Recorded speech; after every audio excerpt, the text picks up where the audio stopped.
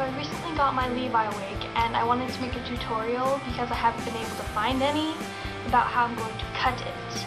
Anyways, this is going to be for a, um, not an already undercut wig, just, you know, normal dark brown wig.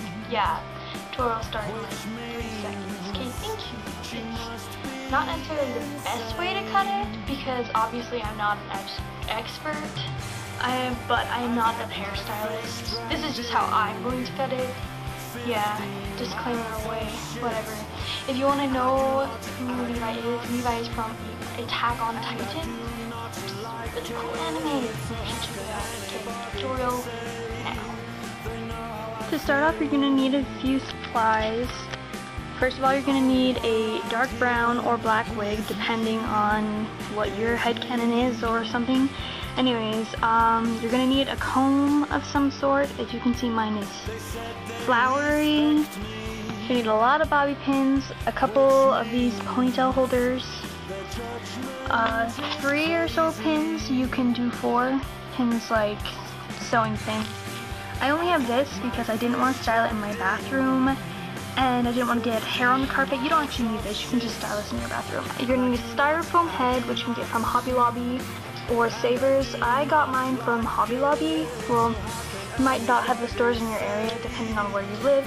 You're gonna need some scissors. You can use actual hair scissors, but I don't have any of those. The first thing I'm gonna do is put the wig on the styrofoam head. And how I do that is I put it on first of all, and then, see look, I look around for the edges, the sideburns. This wig is really thick so it's kind of hard to find them find the sideburns and then you scoot them over and you line them up so that they are on the same part on the wig head as the other one is so that when you cut it isn't uneven. And then I scoot back the top so that it's not hanging over the forehead so it would be like how it would on an actual forehead. And then I pin it. When I pin it, I usually pin one pin on each sideburn. There's one, two, and one pin on the top of the head to make it so it doesn't wiggle around. So I'm kind of just winging it because I've never cut this kind of wig before. So yeah, don't judge. So the next thing I'm going to do is I'm going to flip the head upside down so that you can see all the individual wefts like that.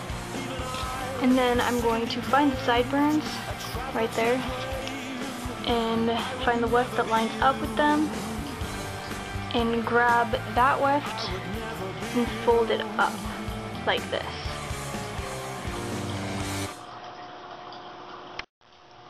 So now that I've got it folded up like this, I'm going to start bobby pinning it.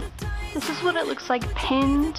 You're gonna need two bobby pins because if you only pin one way, hair will start coming out and you don't want it to start coming out while you're cutting. As you can see, it's up now, all the way around. Since most of it's on the top of the head, I'm gonna take some ponytail holders and I'm going to put it up in those so it doesn't get in my way while I'm cutting.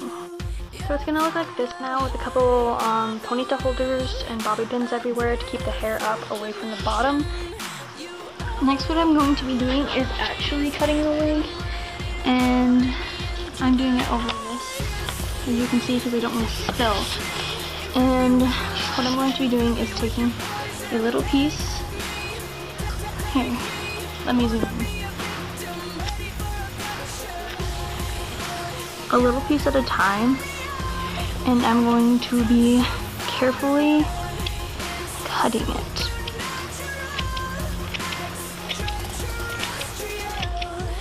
I'm cutting up in a diagonal, kind of mostly straight so that it doesn't have those gross choppy lines like that. And you don't want to cut it so short that you can see the weft underneath. You just want to keep doing that around the wig. You're going to keep doing that throughout the bottom half of the hair so that it is significantly shorter than the top half. And once you've finished cutting, which I haven't quite yet, but I'll just demonstrate this anyway, this is being a pain. You're going to take the comb and you are going to brush out all the excess hair. Okay, and now that that's all cut, you're going to want to take out all of the bobby pins. Okay, now that they're all out, you just want to pull the hair down into its natural Levi position. I've already cut the bangs on this way, so I'm not really going to do that in this video. And as you can see, there is a undercut. It's a little subtle, but it is definitely there. Anyways, this is what it should look like, or something around this. And here's the back with the cut. This is really crappy lighting, I'm sorry. I'll probably add some pictures at the end of what it looks like on me. Thank you so much for watching. I hope this helped you. If it didn't, I'm sorry.